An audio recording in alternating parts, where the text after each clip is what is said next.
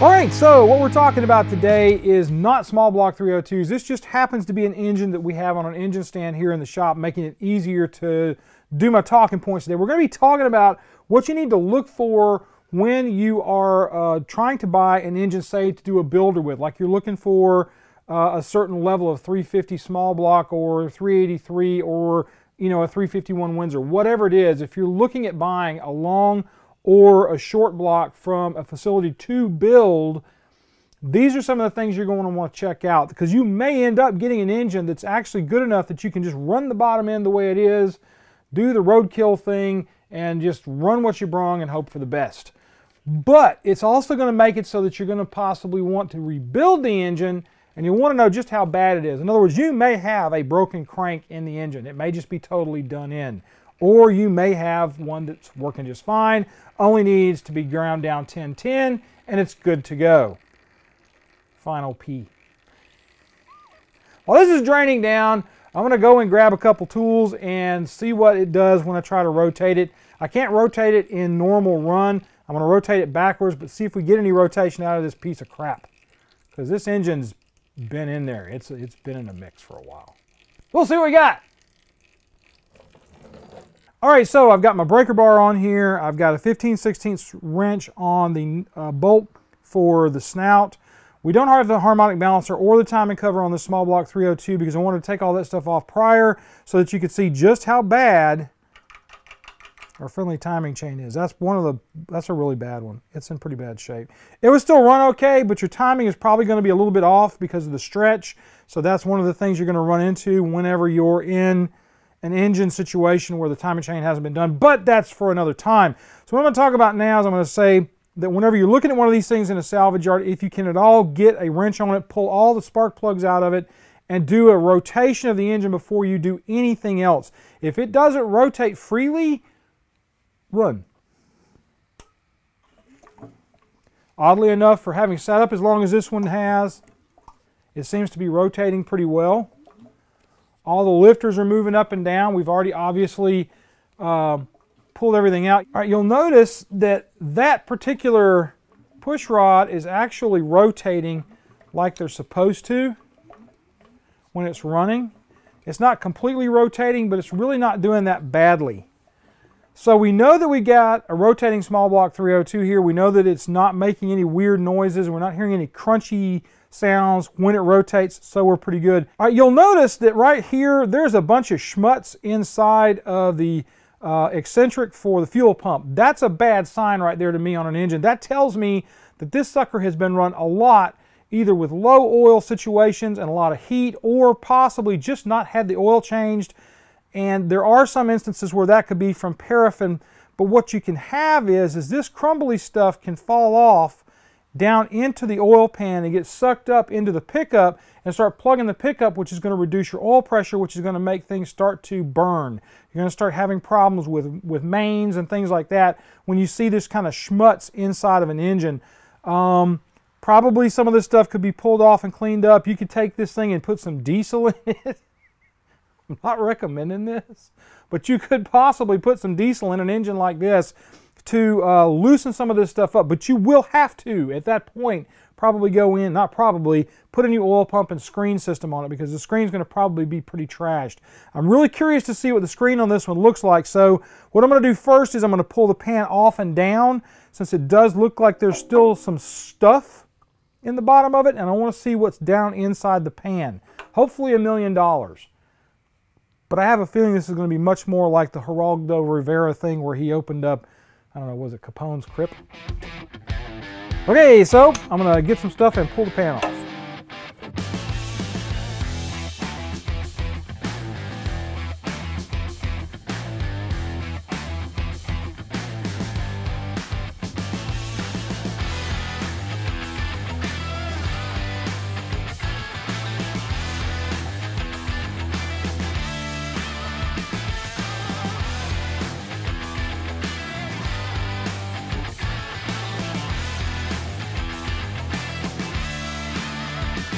All right, so uh, we pulled the pan off and basically they're all 7 16 bolts. The only ones that are not are the two at the front and the back right by the rear main seals. This bolt was not in here origi originally. That fell in at some point when the engine had the timing cover off. It was up on top of the engine and it flopped down into the hole. I remember when that happened. So this is not really a concern to me. Uh, some of this particulate in here may also be from the timing cover, but there's an awful lot of it and the bottom of the pan is kind of slimy. There's things in here that I'm not sure if that's from engine damage, you know, like from stuff just dropping down inside the pan. But this is a perfect example of why you want a oil screen on your pickup because right here, this kind of stuff is a problem. Now, once that oil on the bottom of that pan gets hot, a lot of this stuff, if you really nail down on it, may be pulled up onto the screen and you may see a low oil pressure signal from the car. That's why. Uh, the pan overall looks like it's in pretty good shape. It's got a lot of miles on it, so that's not really, this is all indicative of that. This is not, but I don't know if that's just from us pulling the covers off of this thing or what and a lot of that falling down inside there because we were really not worried about it. We were just going to go ahead and use this as a rebuilder engine when I got it 20, uh, 20 years ago. It's been a minute. So I'm not still quite concerned yet. I'm going to roll this thing over now and we're going to check out the screen on the oil pickup and uh, pump and then we're also going to pull a couple mains and take a look at that. And that's all we're going to have time for today because I got a lot of other things going on trying to get the shop done for some stuff we've got coming up in April for our patrons. So let me go ahead and get on that, roll this bad boy over and see what we have. Hopefully it's good. All right, so I've got the engine rolled over. I'm looking at the uh, oil pickup. These are places that your indications of a bad situation start. You'll note how big this screening is on the pickup. That's what your oil filter on the engine is for. If it gets past here, uh, it goes through the filter and then goes out into the engine. The filter should be picking up any main particulate that's going to be coming in and causing a problem after it comes into the pan.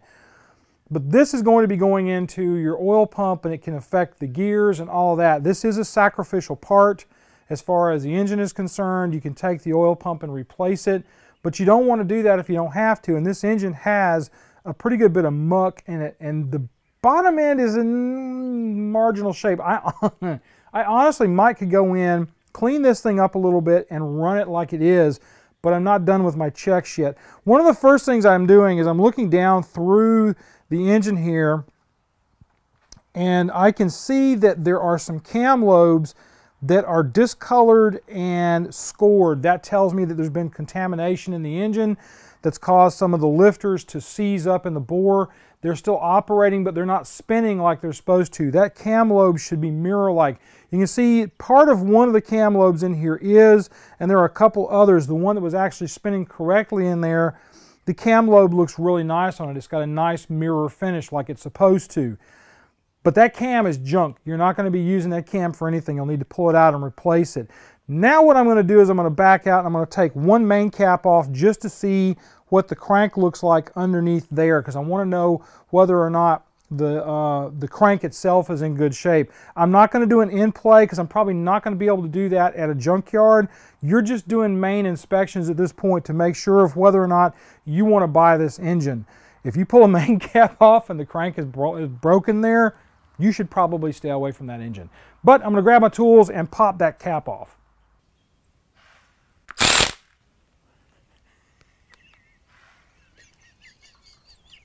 We have a competition going with the neighbors. Every time I do this, he didn't do it that time. Of course, because we're trying to show what he's doing, but he's hitting an impact wrench at the same time I'm doing it. It's the little things in life. All right, so what I'm going to do is I'm going to take this main cap off here. I'll probably have to get my rubber hammer after it or maybe a dead blow. I'm going to try to pull these off. And yes, I know that this is not a correct socket. My three-quarter uh, impact socket is conveniently missing because I have children and they just grab anything out of the toolbox they want. Nope, I may have to get the breaker bar after this. Yep, I'm gonna have to get the breaker bar after it. Well, that's good. The main caps are nice and tight. So we know we got a good situation going with that. If that main cap was really loose, we, once again, it would be an indication of trouble.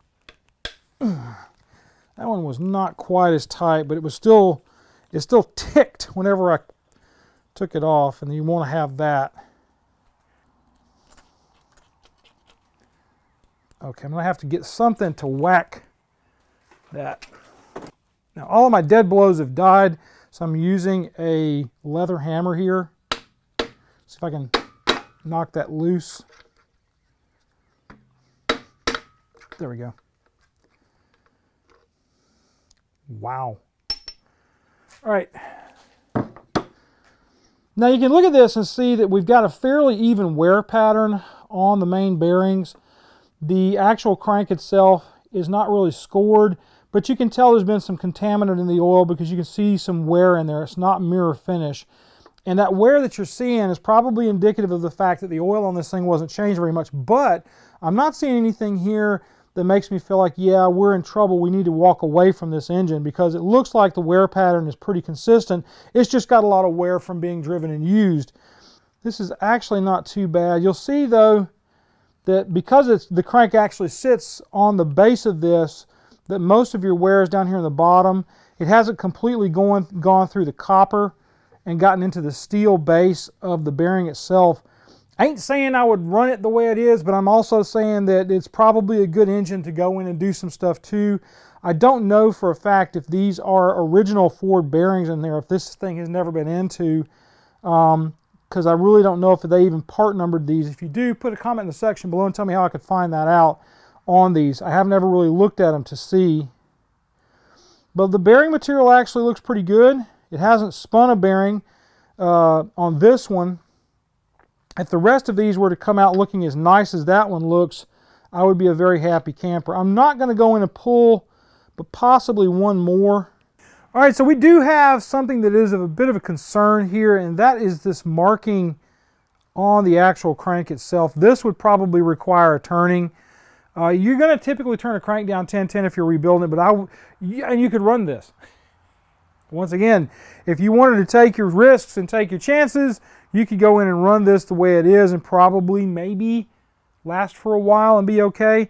Uh, the bearing material in here, again, is exhibiting some issues from the oil not being changed enough. There is a little bit of scoring on here, but the Babbitt material is still pretty good. It feels like it may have a little bit of uh, uh, offloading, side loading here because there is more wear on this side right here of the crank and this could be because of crank throw. That section right there is far more worn than this. Now, I don't know if that's indicative of what's going on with the crank, but that is a problem. This is more concerning to me, and I don't know whether that's a water damage situation or a possible fault in the original crank. Uh, it's not shaling off, but you can you can run a fingernail across it and actually catch it. Yeah, you can see some really bad scoring right here on the crank as I turn it around. There's your oil hole. If you're building one of these, go in and have them chamfer the oil holes. If you don't chamfer the oil holes, it can be a real problem. Well, not a problem. It's just a good idea to chamfer these so that you get better oil penetration around the main. That's, that would require a grind and possibly even more than just grinding it. Um, there could be more damage there. Wiper here. So there's another spot where it's got some scoring issues in it. See that right there? Spot where we were at before. Yeah. Not looking good back here on this rear mains setup. So that makes me want to pull this one back off. but I'm not going to do that right now. That's going to be indicative of an issue right here on the bottom end that that crank's going to have to be turned. I'm going to take and pull uh, one of the pistons off or pull the main cap off the piston if I can get it to come loose and take a look at what we've got there. All right, this engine was out of a 1971 Maverick, uh, the first year for the 302 to be available in the Maverick. And the, the car was trashed, but the engine was in okay shape, and I was looking at it as a possible rebuilder. I got given the engine, so if I'm going to get the engine for free 20 years ago, I'm going to get the engine because, you know, hoarders hoard. So, but what I'm looking at is knowing now that this is probably all original in this engine block. Somebody may have gone in and changed the oil pump on it or whatever at some point, but they have not gone into the bottom end on this engine because we have a, a stamp here of 1070. Now the block is stamped for a, a, uh, a 1970 block date and month code that corresponds closely with this. And it's a C5 OE part number on this with the Ford oval. That tells me that these bearings are probably the original ones to the engine and this is the original crank assembly, never been messed with, never been touched, which explains why the bearings are in oh, kind of okay shape. After engines get a little older, people stop giving too much of a crap about them and things like this start happening where they just quit taking care of it and they don't get the oil changed and then you start seeing wipe problems with bearings, starts losing oil pressure. And the reason it's losing oil pressure is the main bearings are no longer, uh, they no longer have their original Babbitt material on there, which should be a nice, bright, shiny silver, not copper color like you're seeing. Um, this one is actually not in too bad a shape. It has some of the same scoring issues that you saw on the main bearings, but you're not going to see as much of a problem on this as you might on the mains. Um, so yeah, we now have knowledge that this is an original small block 302, unmolested on the bottom end. Don't know if I'll be able to get that piston to come back up here so I can seat it again. Put the bearing on the main. And there's only one way these will go. You'll see there's a notch in the uh, in the main cap for it. And yeah, I'm not that worried about it because it's, you know, if it's dirty, it's dirty. And I'm going to put this back on here just to put it all back together. I would not run this engine because of what I see with the rear. Plus, I'd want to go in and put ARP fasteners, you know, just do this engine guy stupid stuff that you do. Because, you know, it's going to see 8,000 RPM, right? Yeah, probably not. All right, so we know now what we got. Um, what I'm going to talk about next is when you're doing an engine, what do you look for in those cases? When you pull the engine apart, what are some of the bearing issues that you can see? We've already seen what they look like when they're completely wiped, but there's other things that can happen. In reality, it doesn't matter a whole lot at this point what's causing those problems. They are just problems. If the bearings are nice, clean, silver, you know that somebody's probably either been into it or the engine is fairly low miles and the oil was changed fairly regularly. If you have scoring that is impacting the crank like we saw on the rear main on this thing, you've got an issue with particulate possibly in the oil. Uh, also, there can be some spots where the, uh, the bearings or the main crank is blued. If that's the case, don't buy it because the crank is trashed. You won't be able to reuse it. All right, so looking at this engine, I would probably say no, I'm not going to buy it from a salvage yard. There are a couple of lines in here that are fingernail lines. I can actually catch my nail on it. The crank on the rear main back here seems very, very rough. This picking of the metal here on the crank worries me a good bit for using this crank for anything. I don't know that we could turn that out and get rid of it with a 1010 turn, which is where you kind of want to be when you're doing this. 1010 is about the max I like to go that's entirely up to you. But I want a 1010 on my turn on my crank. Um, that is not going to come out. I think we would be done with this one right here at this point.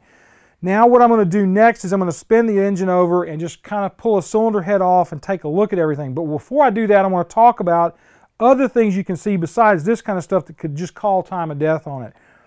If you see bluing on any of the mains that you pull off and the, the crank itself has a blue cast to it. That means the crank has gotten hot and that main is trashed.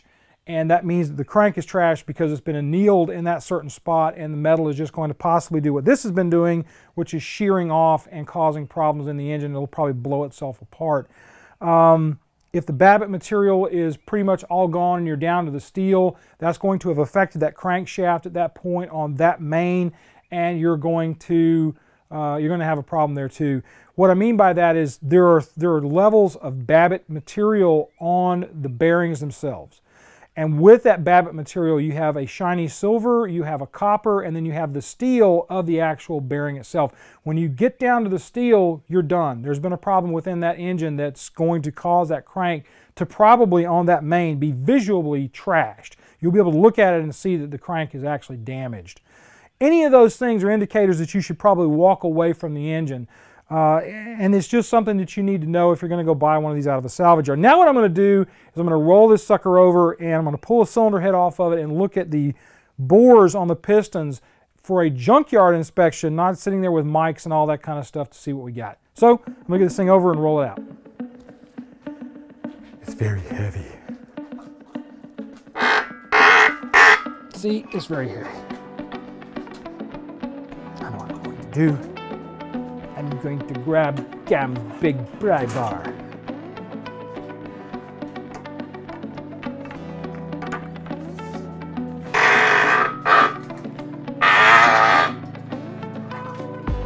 Huzzah!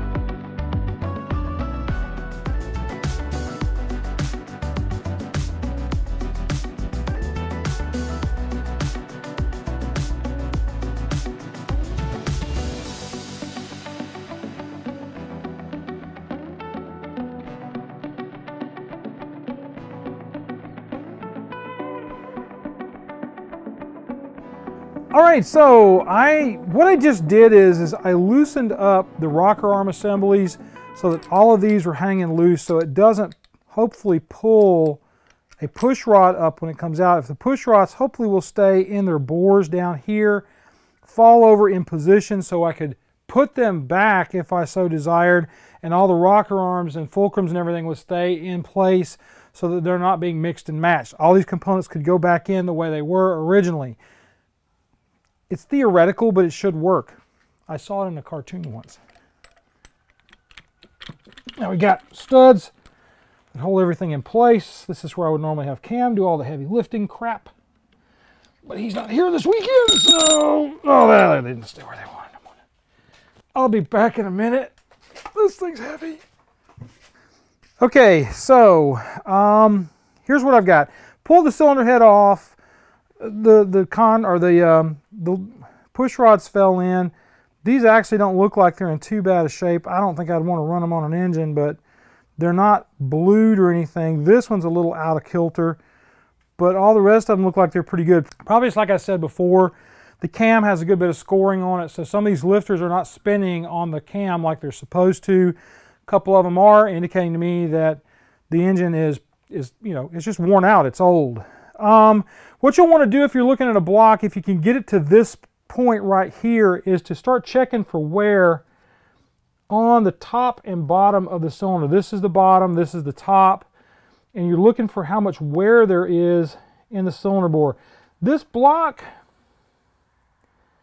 because it's a small block 302, could possibly be redone, but there is a really big ridge on number five. Like all the way around ridge. Not as bad on the top. Mostly it's, it's load wear or wear load going out, like where the piston has been pushing out this way on number five. I haven't done this one yet. I'd have to roll the engine down and see what that one looks like. Um, if it's on an engine stand, you can do that. If it's on the ground, that might be a little bit tougher. But that number five piston is it's pretty worn and there's a mighty ridge there. I mean, I'm, I'm catching a thumbnail hard on it. Rest of them, there's wear in them. This one has more uh, forward load on it. Oh no, lifters fell over. Or excuse me, the push rods fell over. I don't know. Uh, I might would look at this one for something to use, but there's a lot of thrust, I would call it thrust wear. I don't know if that's correct term, but I'm catching fingernails right here, except on this one where it just extends all the way around the bottom part of the bore here. Again, will I use this engine on something? Possibly, because if I go to like a 347 small block with this thing or a 331, I'm going to overbore it and I'm also going to put a different crank in it, so the block could be a good usable block. It is a 1970 block, so it's an early 302 block, I don't know. I look at things like this and I sometimes think, maybe just better to go out and buy a crate engine that's got a warranty on it and then, you know, call them folks up when there's a problem with it rather than me trying to go back to the engine shop locally and say, hey man, you did something wrong. And he looks at me and says, No, you did something wrong because I didn't put it together, you did. Therein by the rub, should we have had a, you know, different setup? I don't know. The bees are back. Andrew's getting nervous. We need to button this thing up or Andrew may run. He's frightened of bees. And these things won't even hurt him. But anyway, I digress. Would I buy this engine? No, probably not. And I'll tell you why. The scoring in the uh, the cylinders, the, the walls themselves are in pretty good shape, but uh, it does have the ridge in it. Now that could be indicative of a lot of miles on the engine. I don't know. Part of me says if you want to do it, you know, buy it, build a 331 with it because you can take a 302 and bore it out pretty heftily. If it was a small block 350, that would be almost nothing because again, you can bore that one out pretty high. If it was a Cleveland or certain other engine series that have a very thin wall on the cylinder bores, I would walk away with the ridge because that would tell me that I'm going to be going over what I should probably go to keep the engine from running hot because of hot spotting within the cylinders. Um, but on a small block 302, I mean, this mat would make a pretty good 331, 347 small block candidate because it has some of the things that you would need on a small block 302 because like it has the Boss for the uh, four speed if you wanted to run a 331 with a four speed. Why you would do that, I don't know because I would do like a five speed with a hydraulic clutch from the guys at Modern Driveline, do a TK. Anyway, I'm getting off into the hinterlands and I realize that. So, getting back to the main germane thing we're going to be talking about today is subscribing to the channel. Come on, man, subscribe to the channel. We're getting a lot of good information here. We're shooting for 100,000 viewers sometimes within the next 10 to 15 years. So if you guys could help us get to that, that would be awesome. Just subscribe. You can get notifications if you want. If you don't want the notifications, that's just fine too. As long as you subscribe to the channel, it helps us and it'll help you in the long run because you can one day say, I helped them get to 100,000 subscribers right before the old man died. Hopefully it'll be this year because we're like 88,000. Unless the guys at YouTube do some kind of crazy call like they've done in the past where I lost like 5,000 subscribers. Beyond that, please do us a favor and check out the Patreon account. At the $10 a month level, you get monthly meetings with me on Zoom. We get all together. There's, there's probably 20, 30 guys in there. It's nuts. And gals. We have gals joining up as well. Um, so it is pretty nutty and fun. We do tech Q&A.